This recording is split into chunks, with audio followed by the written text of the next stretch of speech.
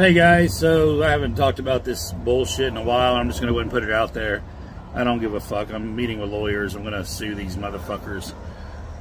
It's going to happen. So Rebecca Chaiklin from one of the Tiger King uh, directors and producers and whatever, one of the people that got a lot of the money for putting that show together.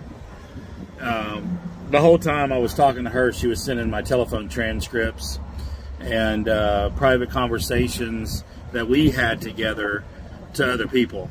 And she was sharing footage to an attorney that Netflix warned her not to, and she did it anyway.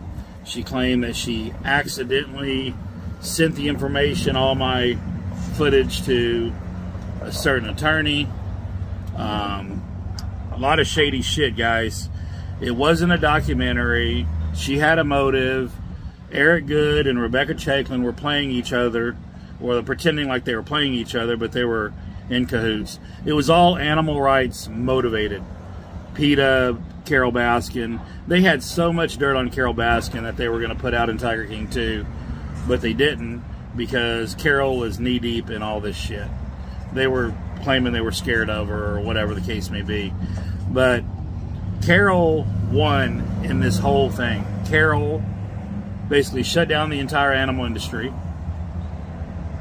She got away with Don Lewis's disappearance, even though Kenny Farr admitted to somebody that he put Don in the wood chipper. The sheriff has, doesn't want to prosecute this case. It was all animal rights motivated, and I don't give a fuck what anybody says. This this message is going to piss a lot of people off. I really don't fucking care, okay? I am going to sue the shit out of some people. It's going to happen. I've been meeting with attorneys for weeks. I'm not going to settle for any more apologies or trying to make it right with these fucking people. I am going to run my head until it's resolved. So, the Tiger King show was all scripted pretty much. It was pretty much they made us say what they wanted us to say or coerced us or pretended they were our friends and you know they were backdooring all of us. They were using hidden cameras when we didn't know we were being recorded and two-party consent states. They broke every fucking law in the book. And it's all going to come to light pretty soon.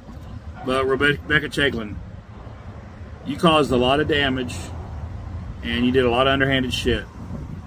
And it is going to come to light. And it's going to come to light soon.